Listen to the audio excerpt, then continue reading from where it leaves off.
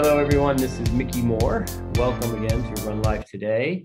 Uh, being your host, and exciting to have another authentic and inspiring conversation today with some uh, someone that all of us probably know, especially in North Florida. Um, but excited to be in season two, and this will be uh, episode three. Uh, as always, you can go to our website, runlifetoday.org, for more episodes. Uh, like us, watch us, follow us, and subscribe, and all of that. But let's get back to our special guest. Uh, I'm going to say officially Senator Loranne Ausley for the first and only time during the interview. But um, I know her as a fellow triathlete. So, Loranne, thank you for being here. Hello. Hello. Thank you for doing this, Mickey. Yeah, certainly. And uh, thank you for the time after hours because I know you, you keep a busy schedule. But um, as we talked before we came on, you know, you, you peeked at some of our, our episodes, so you kind of know what you're getting into here. And I want to jump right into it because um, being around you for so many years now, uh, probably, I don't know, at least 20 uh, that I can remember, um, amazed at your ability to integrate so many lanes of work and life. Uh, but as we always do in the beginning, we, we want to dig on some background, right? So if you would, for the audience's benefit, a little bit about where you're from, you know, your upbringing, say all the way through until you went to Randolph, Macon, William and Lee and all of that. But tell us a little bit about your upbringing first. Let's start there, Loranne. So I'm, you know, feel blessed to have been in Tallahassee almost all of my life, and my family's been here. Um, my dad and his fat daughter, fa- father before him. Um, we've been in this North Florida for a long time, um, and I, uh, you know, I, I love all of North Florida, and it's a you know privilege to be able to to run and work here for almost all my life. Um, I, you know, I grew up you know, went through elementary school, went to, went to Maclay, ended up going graduating from Leon High School. None of that time did I run. I was a I was a different type of athlete. I, I rode horses, um, and I it was a pretty you know pretty serious um, endeavor because it was very much like what we do now in, in our triathlon world but added on to that, taking care of an animal that's you know lot, much larger than my 10 year old self when I started riding, um, and learning how to take care of, of, of a large animal, um, which was part of the deal, you know, mm-hmm. and so, and, you know, so my, and my, my deal was I, I if I got my schoolwork done and did what I was supposed to do, then I could go to the barn if I didn't do that, so I couldn't go to the barn. So my um, most of my middle school and even high school was all about getting you know getting things done so i could go do what i loved. Um, and i guess that's probably you know is is laid the groundwork for for where i am today just changed the thing changed my my activities a little bit. True. Now are you were you uh, do you have any siblings I do. I have a brother. I'm the oldest of three. I have a, a brother who lives here in Tallahassee, and my sister is um, she's seven years younger. Which you know that gap gets smaller and smaller the older we get. We but um, she lives she lives in Jackson Hole, Wyoming. So um, I, I, I have the the um, it's such a hard thing to do to go visit my sister during the summertime in Jackson Hole. Yeah. Poor thing. Yeah. yeah. Uh, so when you talk about, okay, so Maclay, Leon, I love asking people about high school mascots and college mascots. Now, because I'm familiar with Leon High School, I'm going to skip that one for you, but I'm going to get to your college mascots because I don't know the answers to that. But let me go back to the horse thing. So if I remember, so that's the tie into Red Hills, right? One of your family members helped I guess, start that. Is that right? Right. So my mom, who never rode herself, but was really involved as a parent, as a you know, as a as a horse show mom, pony club mom, um, she really stayed involved even after I left riding. She stayed involved and you know kept up with all of the the competition. And she and another horse show mom, Sylvia Oaks, uh, they they saw this beautiful piece of property that Colin Phipps had, um, and he built a cross country course out there, and it wasn't being used.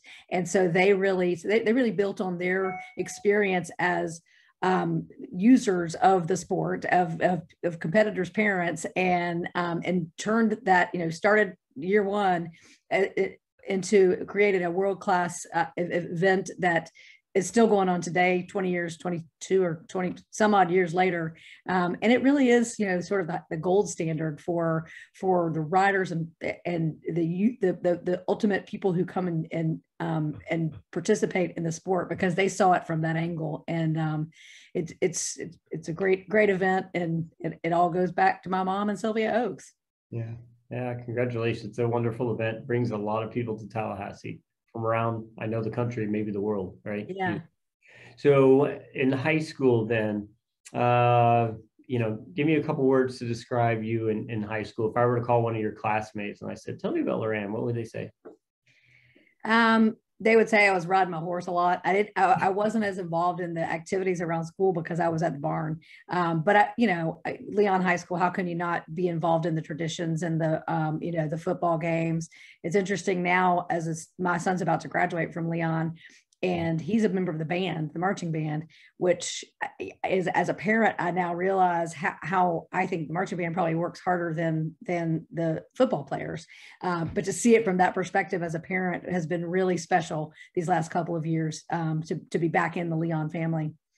Awesome. So to save time, you know, so we can talk about the different lanes, I want to get one more background question. So finishing Leon High School, you you you went to school. So tell us a little bit about your college experience and when did you know like okay i want to get a law degree. Like i want to be an attorney. And and tell me how how that all happened.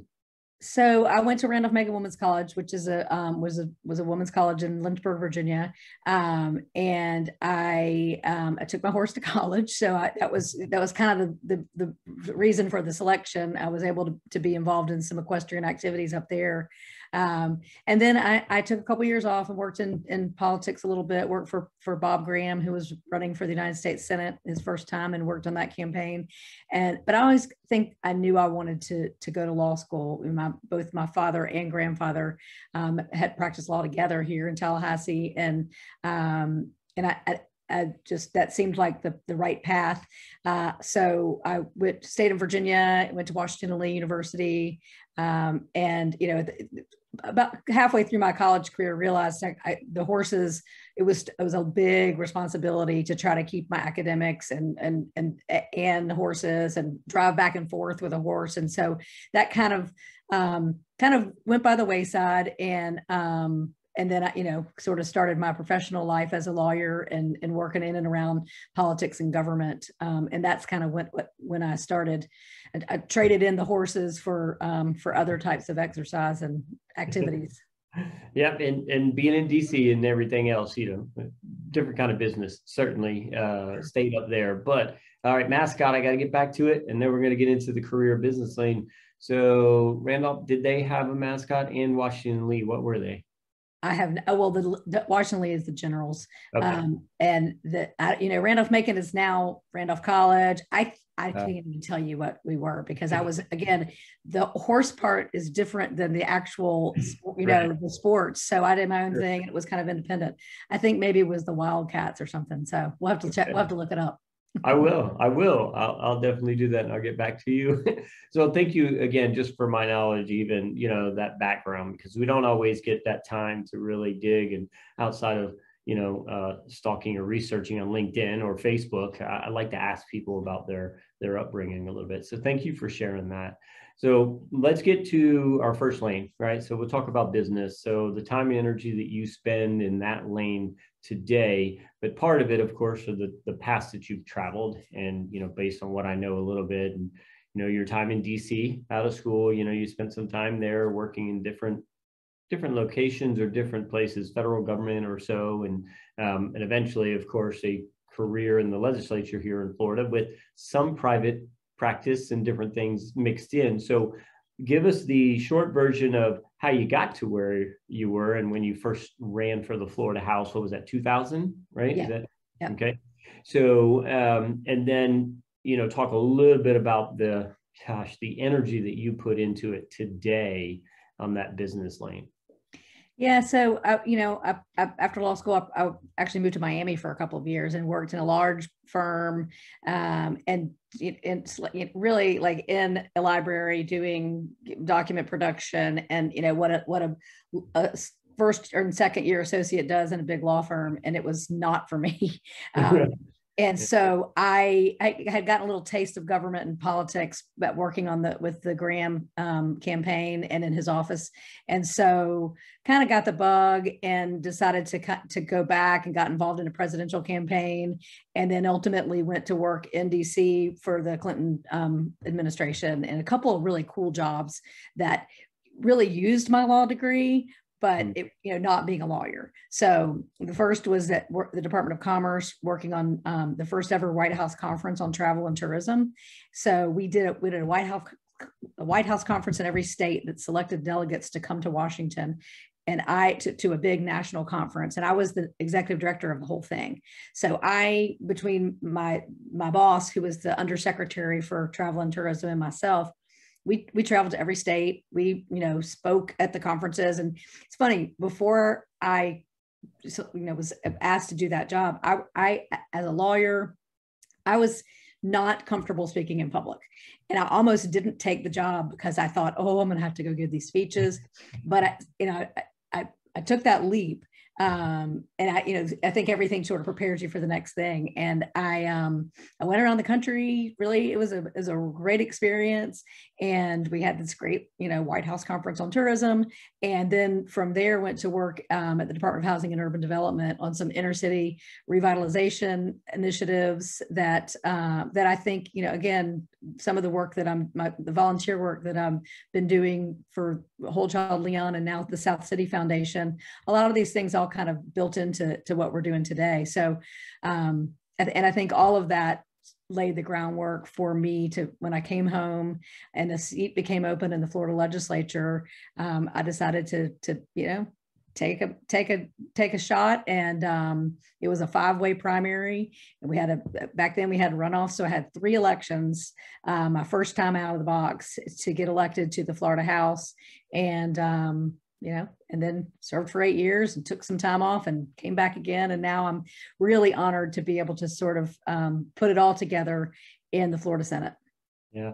And so, what a path, right? Many leaps and putting yourself out there and being vulnerable, right? Um, you got to take risks for certain rewards, and you have certainly put yourself out there. So, congratulations on that path. And today, as a senator, so your typical day, if you could, I mean, if there is one, because I understand you go to a lot of different things and a lot of different meetings, and there's session, there's non session, there's campaigning, but your typical day would be something like what? Well, there's really not a typical day, but but it it does depend on whether we're in session or not. Like, but but remember, so my, my when I served in the House, my my district was part of Leon County, not even the whole thing and eh, there are 120 members of the House. There's 40 senators. So I now have all of 11, soon to be 13 counties. Mm-hmm. So, you know, in the last 48 hours, I've been to the I've toured a park in um, at the new park in Franklin County, the, the Bluffs at St. Teresa. I, um, I went to a campaign fundraiser last night. I woke up and went to a county commission meeting in Gulf County. I, and I've toured um, a, a, timber and cattle operation in in Gulf County. So you know that was the western part of the district. Some days I'll be sitting in front of a Zoom call all day long uh, on, you know, doing policy work. Other days I'll be working with, you know, with my um, with my nonprofit hat on, working uh, as the chair of the South City uh, Foundation, trying to raise money for a child care center. Um, a lot of, t- you know, or I'll have an office day where I'm either in the office or in a coffee shop somewhere, meeting with constituents uh, to find out, you know, what to help them solve their problems and come up with policy ideas. So I think that may be the reason I've stuck with this as long as I have because there is no day, there is not a typical day. Um, every day is different, and every day brings something um, exciting and challenging, and uh, and and I wouldn't have it any other way. So maybe a softball question for you here, but what what's the hardest part? Is it the campaigning or doing the work? Oh, it's definitely the, it's asking people for money. You know, because you can't do a campaign without money and it that's the worst. People that you know that that is that is hard. Um and and and the, the ugly campaigns you, you, nobody that's watching this has was spared the last campaign cycle because i know there every single person got 42 pieces of mail every single day and saw all the the nastiness on television. And that's just that's unfortunate. As you know I, have got thick skin. I can handle it. But it just takes away from what we're, we we've got enough problems we got we need to pull together and solve the problems. We don't need to be tearing each other down. And i think that's playing so much into sort of this whole you know the people going into their corners. So that's the part that's the tough part of it. Yeah no i agree. And i and i think it has it makes people that are interested or good people that want to participate, it keeps them on the sidelines a lot of times because they just don't want to, they don't want to go through that. They just don't want to be in the middle of that. Right. right. Who, so, who, wants to put your family through that? Who wants to put, you know, even my, even my parents got pulled into this last one. Um, and that, you know, that's in my bike, everything else, you know, right. yeah. um, but it's, it, and I do think, and I think it just, Pe- there's already so much distrust of of government and institutions generally. Uh, people need to trust their government. People need to understand that that there is a role, a very important role for government at every level, and that it's you know that we're that people are doing are we we putting ourselves out here to to try to you know keep people safe and make this make the make sure that our children generations beyond us have green spaces and places to run and swim and bike. Um that, you know that to me that's what this is about. It's it's um and it's unfortunate that it becomes something else. True true. Now thank you. Well again thank you for serving the citizens of the 11 soon to be 13 counties of district 3 district 3 right? Right. Okay um, and I wish you continued success for all of our benefit, right? Uh, so thank you uh, for what you're doing there, Senator. Um, so that that's uh, mostly about the business career lane where you're at now, and thanks for the background there too. So I want to shift. You mentioned one piece that I'm going to go ahead and shift to the community lane because I I understand again being around you um, for a number of years just how involved you are in the community, both through the last 20, 30 years and today. So share with the audience a little bit about that community service lane. You know, what boards you're currently serving on or engaged in, uh, what other philanthropy, charitable things that, you know, take your time and energy, your talent, your treasure, all of that. Um, what can you say about that lane? So my big project right now and has been for about the past three or four years is the South City Foundation, which is a really exciting initiative in the south, part of town. Um, you know, it's, it's, a really challenged neighborhood. It's just one census tract, um, but it's you know got a lot of a lot of challenges, a lot of help, you know, repeat teen pregnancies, a lot of um, low birth weight babies, a lot of crime, um, and a lot of kids. There's eight. There's three thousand residents, eight hundred children just in this one census tract and um, it's a you know it has a rich history uh, and it is um, it's it's a very exciting to be working with the residents and also with a with a, um, a organization out of Atlanta called Purpose Built Communities that has successfully transformed communities um, around the country by focusing on three, you know, investments uh, simultaneously, focusing on a, a mixed income housing, uh, and on a, a A plus cradle to career education pipeline and a well a mix of health and wellness and uh, recreation activities recognizing that you can't focus on one but all of these things need to need to be invested in and addressed. And sort of the secret sauce is a is what they call a community quarterback organization that is a group of community leaders, some residents and, and some folks from across the community that every day are working to push this forward, um, open doors, find resources to, to um, for all these things to happen. We're very, very fortunate that um, at, we, we set out on this mission about the same time that the Tallahassee Housing Authority was um, looking to, to totally revitalize and revamp um, the Orange Avenue apartments. And so there's, you know, the housing authority was was underway with a developer that has been involved in these purpose-built communities around the country. So it's really exciting. There's you know grounds breaking.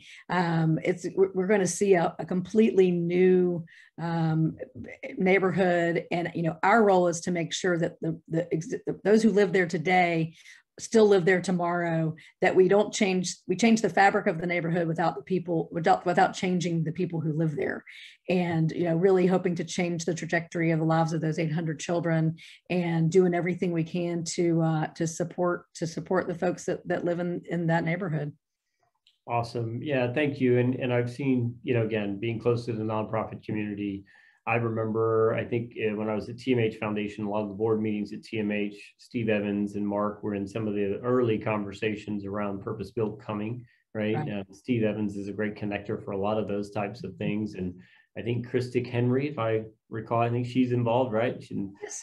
talk about somebody that, you know, puts some time and energy into the community. she certainly does, right? Right. Um, so uh, thank you for for sharing that. Um, and again, off the top of your head, those other, you know, whole child Leon. I mean, yeah, whole, and, I've got to be able to say something about that. You maybe had something to do with its success, you know.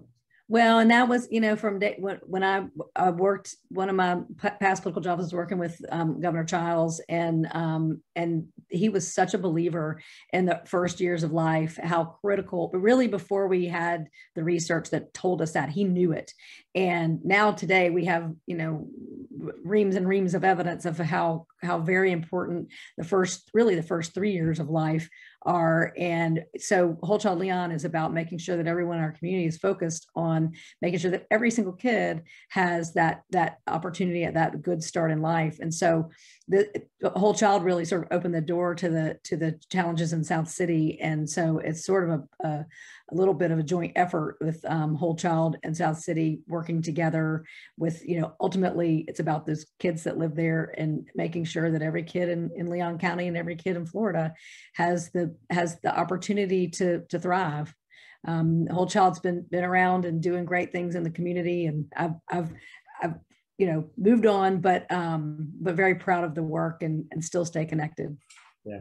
And i will say you know because again i've, I've looked at your website and everything and it talks about and your interest and involvement at the legislative level but i know also personally you know working with with those with disabilities working with kids and youth and you know it's just always been something that you're that's close to you. So well, um, and I, I tell the story a lot. I had a when I when I just had first gotten elected, I had a mom come visit me in my office. She had two kids on the autism spectrum, and she brought them both in. And she said, "I am not asking you for anything. I just want you to know that there are children falling through the cracks. My kids get what they need because I'm the squeaky wheel. But please look out for these families because their parents are so stretched." Um, and I, and I never forgot that. And you know, I ended up there. There were I had I was put in places to be able to to work with families and parents in the in the um, in the disability community, and then you know, ironically, or or, or what you know, whatever whatever the um, however it happened. Three years later, my my son was born as visually impaired, so I found myself as one of those parents. Um, but I had already really been involved with with other parents, and so kind of um, I don't know, it, it was a um, it, it, has always been an interesting um, an interesting dynamic that led us there. But um, it's a it's it's a soft place in my heart for sure. And then we're so lucky to have Allison Tant, who obviously she and I have a lot in common, and um, so we you know work together on these issues, and and so very important. Yeah, Independence Landing's coming, right? Yeah, very so, excited about that you reminded me Rotary Youth Camp, which I'm sure you've heard of. You know, it's the summer camp that was in Gretna. I think it's in Defuniak now, but I chaired the board a couple times as a Rotarian uh, for the camp, and I just I remember this one parent telling me it was it was great that their their child had somewhere to go for that summer camp, but even more so for her because yeah. she never got a break, and for that two weeks, she didn't have to do much. And it was just such a relief on her face. And when she came back in two weeks to pick up her son, I was there and she looked like a totally different person. She was re-energized. And, you know, so you, you got to remember too, it's the kids and the parents and the things that they have to go through together just to make it, you know? So um, I applaud you for those efforts too. All right. So let's transition to another lane. Um, so we talked about work and business, talked a little bit about community. Let's talk about uh, fitness, active lifestyle, right? Um, this is where I probably see you the most every Saturday or every other Saturday. But um, for the audience, let's talk about your time and energy in that lane today, um, but maybe give us a hint of how you got into it. So you got off the horse, and at some point you got into the the pool and the bike and running. Um, so let's talk about that for a little bit. Yeah, and I mean, and again, I was I was a late late starter, and I think that may be why I'm able to keep doing it because I, you know, when I started, we had better technology than you know people. A lot of people my age have really bad knees, and um, because they ran a lot when they were younger. I didn't do that for for good for good or bad. I didn't do that. So I mean, I, I've probably been running for 20 22 23 years my first marathon was probably 22 years ago um, and i but I, I you know go back to when I was living in Washington, not doing anything at that point probably. And I, but I, I went out to the, and saw the finish line of the, of the Marine Corps Marathon. And I remember thinking to myself, you know, I might want to do one of these one day. And I, you know, tuck it away. And then, um, and I started when I got back to Tallahassee, started running just a couple miles at a time. I lived in Betton Hills and I would, you know, slug through my th- three miles and, um, and, but and and then just little by little uh, kept adding mileage and and found different running groups. I mean, my my my first running group was the um, the well the Harry Bellini Track Club, who is like you know that's um, Bob Pierce, uh, Bubba, and my husband, who we weren't married at the time. We met we met through running. Um, Connie Clark was involved with that group because it was a bunch of lawyers from Ausley. Um, and um, and then Con and then we kind of moved to the early girls, which was bon- Bonnie Wright and Mm-hmm. Randy Hanna and um, uh, Joy and Jackie McDaniel. I mean, you know, and uh, Tom Perkins and. Tom McAfee and um, Judy Chin. And we would, you know, we would meet Tuesdays and Thursday morning at 5:30, and we had a route, and we did that for years. Um, and then, you know, so and, and all of us have at various times in our careers done marathons together. And then then i got you know at some point i um i did that freedom springs triathlon. I think so many people that's their first one. And um i did it on a you know an old clunker bike but i got a medal you know i got third place in my age group or something and i was hooked forever um and i think that's probably a lot of people's story hmm. um and i and my next race from that was a I, I, went from Freedom Springs in July of whatever year that was, and then I, the next thing I did was um, Gulf Coast, a half Ironman. Didn't yeah. do anything in between, and I don't think I changed. Maybe I got. I don't even think I got a better bike. You know, I didn't know anything about what I was doing. Um, but it's you know triathlon it's such a great sport and it's such a great equalizer as as is running. Um, you know it doesn't matter what your job is how much money you make eh, or you know if everybody's the same when you get out there on the course and every in this community particularly everyone is so supportive of each other. And sure there's competition um, and I, I know you're you know people that are fast like you mickey you have to be competitive. Um, but but even even the most competitive we, we all want each other to succeed. And i think you know with so much of my life is cutthroat in other places this is a it's, it's a nice um, a, a, really nice space for me uh, to spend time and you know to, to clear my head and be able to to to go on and do the other things in my life yeah, I mean, so I mean, swimming, cycling, and running. You know, trying to fit them all in. Again, it's a different lane. I mean, on average, are you doing five to seven? I mean, you've been doing it long enough where your body's like it's it's there, right? But still, you got to maintain. So, are you doing five to 10, 10 hours a week? Is that a good number to say, training wise, at least? That I probably should have looked at my Garmin. I could tell you exactly, but um, but I do. I try to do two of each discipline per week you okay. know two two runs two bikes uh, and you some and and try you know try to do three of at least one so um but definitely at least an hour a day probably more like two hours a day um early in the morning like most of us um and that's you know, but it, you're right. My body's kind of used to it. My body doesn't know what to do if I don't do it, though. I mean, I, I, think I you're probably the same way. If I have days off, I get that's when I get aches and pains, not when I'm running. It's crazy. Um.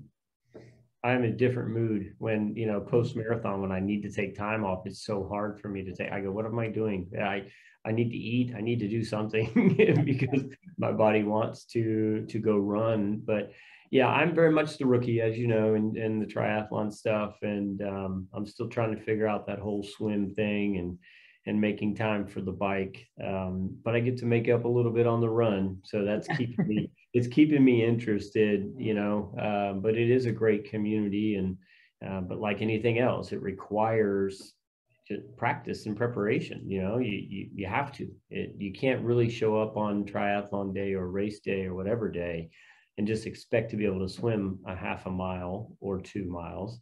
Um, you are an Ironman. So how many? One, five, ten? How many have you done before? Four. Four. Okay. Yeah. Okay. Yeah. Wow. Um, it's on my bucket list. I don't know if I'll get there, but we'll. You'll get there.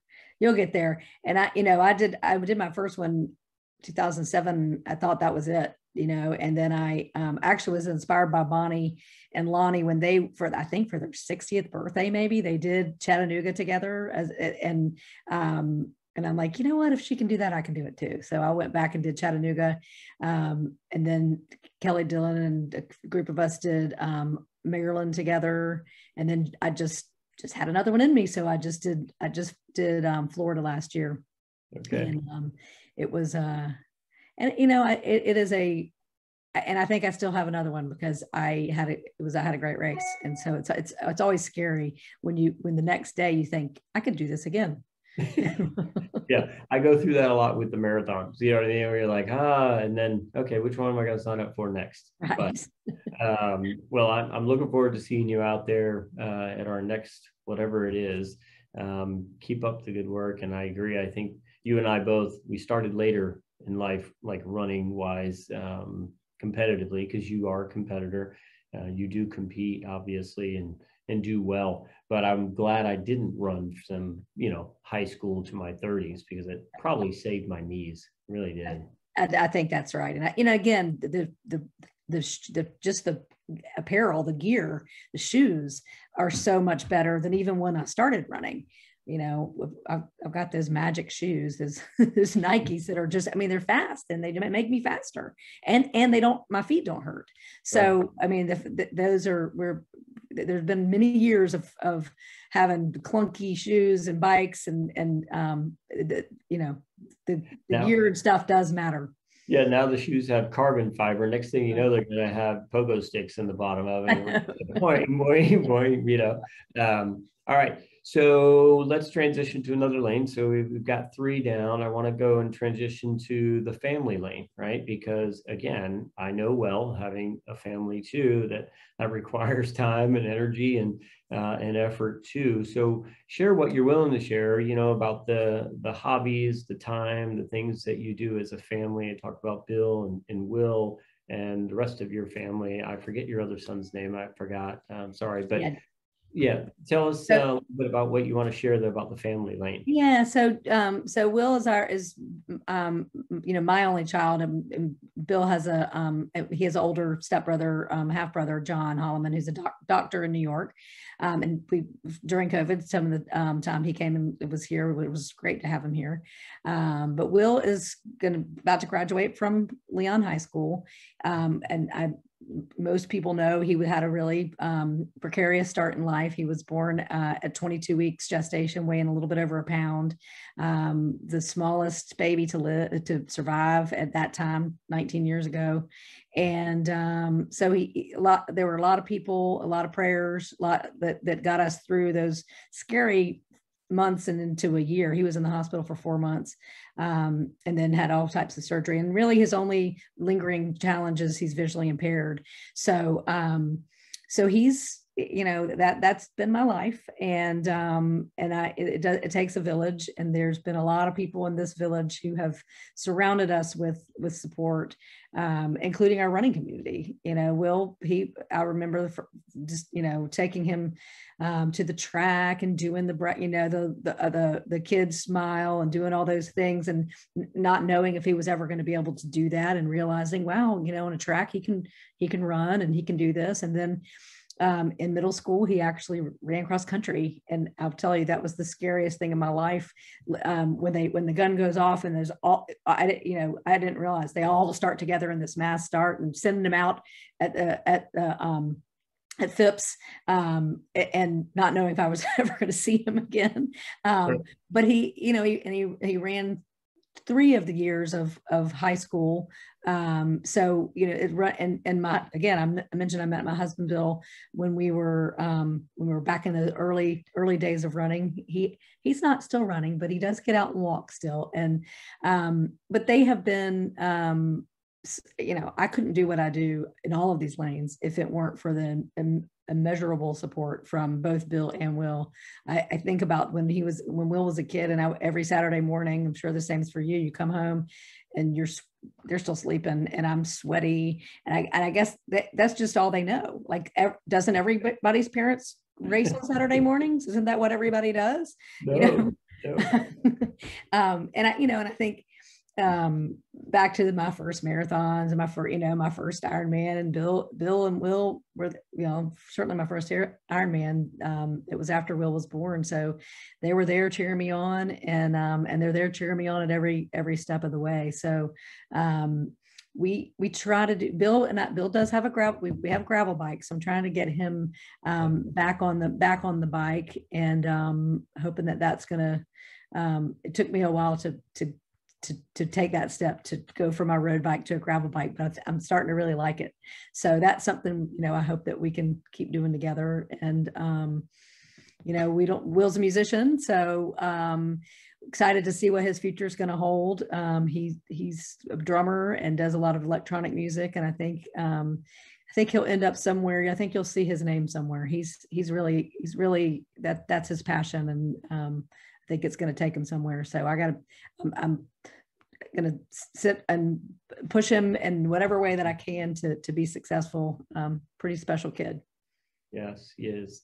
Yeah, thank you. And Bill, so uh, attorney as well, right? Or an attorney and has had his own practice um, uh, in intellectual property, uh, patents, trademarks, copyrights, and I'm on the shingle, so I do a little bit of work with him. Um, but he's been on his own for a while and do and, and loving that work. And um, you know, it, it's it it thankfully without being in a big firm he has the flexibility to help me you know to fill in when i when i can't do and um, and we we have a, a, a great partnership um, just you know being a political spouse is not easy. Um, and, and i you know the first time around he did every single thing with me. And and and now um, I only make him go to the things that he wants to go to because it's hard.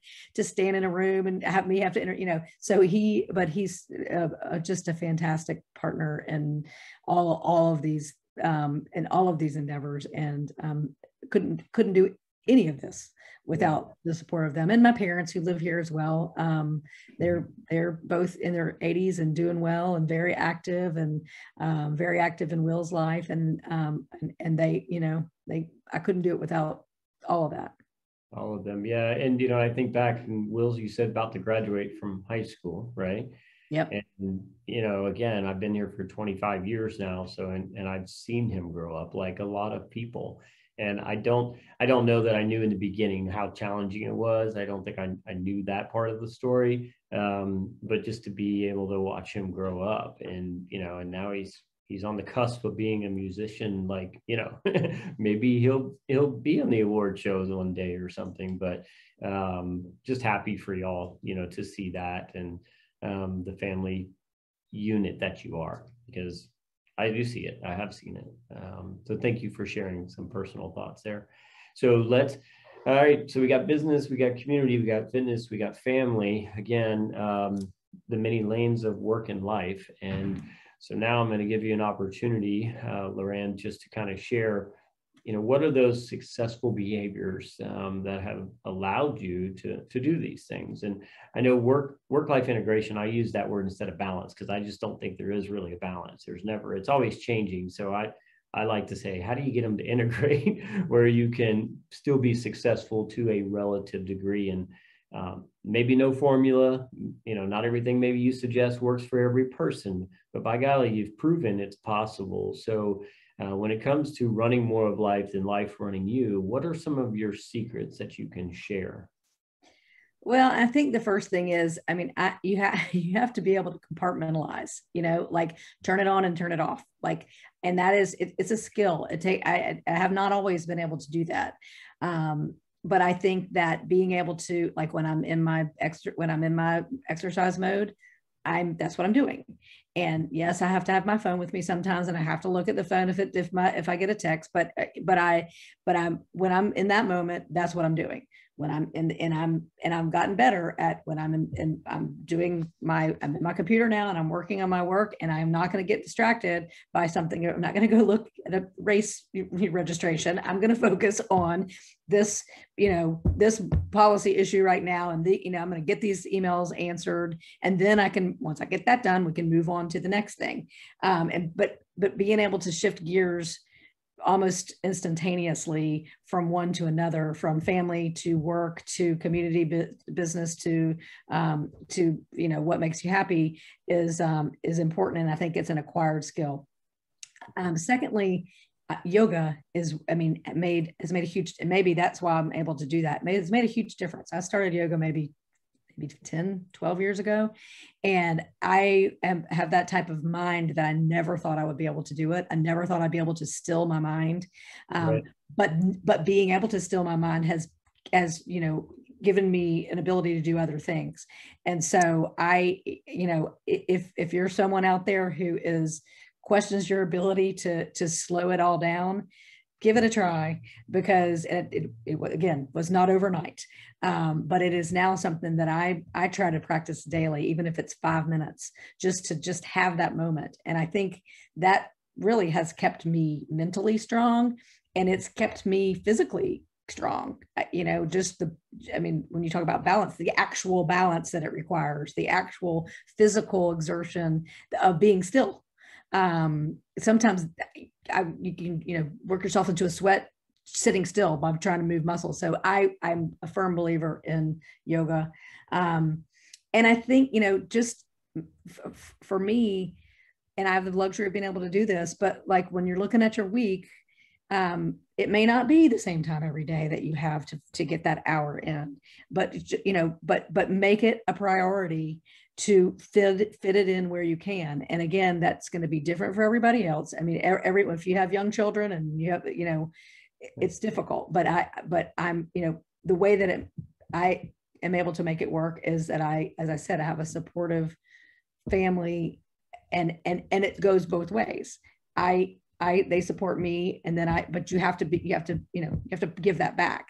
Um, and so you know, I I think that it's every everyone, and it, and it's it's changed over time but I've, I've, sort of at this point i've got the system down. I look at my week. I know i know what i need to get in and i try to make it work and sometimes and and try not to be too disappointed if something comes up and you can't do it. I mean that and that is that's a hard that's the hard part for me because i it, as you said earlier it shifts my mood. If i if i waited to do my workout into the afternoon and then i had a meeting come up and i'm not able to do it, mm-hmm. it it's hard not to be really bummed out by that. Yeah. Which is why I try to get it done in the morning so that that doesn't happen. Sometimes it doesn't. And I, I, think just you know just recognizing, um, you know, the other part of this is all all through all the training, marathon, Ironman, all that is recognizing that it's all so much of this is out of our hands. You know, you have a mechanical on your bike in an Ironman, it's not your fault, and there's nothing you can do about it. And you have to be you have to be prepared for all of that and be mentally prepared for and it's not you know it's not get not giving up. It's just recognizing that there's there is not we're not completely in control. Um, but i often laugh that the reason i relish and love my my triathlon world so much is because it is the only time part of my life that i feel like i can have control over. Um, you know, I, I, do, I can, I can control how many miles I run and when I do it and all that stuff. So, um, you know, I can't necessarily control when we have session or how many people need to meet with me. So um, I try to compartmentalize to get those things done on my schedule and, um, and keep my brain and body healthy. Okay, thank you. Those are some great tips. And I'm going to try to regurgitate a few of them, right, from for my for my uh, education, but also the audience again. So um, compartmentalize. I heard that, right? Um, being able to shift gears. I love the way you put that. Being able to shift gears from different lanes to lanes and being okay with it and focusing and not let them cross over each other. dedicate the focus, but yet try to be still. Find some time for being still, even though it may exert some energy, like yoga, but be still and be, have peace of mind at some time um, for your mental and physical health. I like that as well. Um, I heard prioritizing and planning and reciprocating, right? So the system, when you said, I got the system down now, and it's just a matter of uh, it being relative to the individual, but the better you can prioritize and plan these things out and then reciprocate, it'll more work out for you in that regard. Um, is that a pretty good summation of most of it there? I think you said it better than I did. So that was great.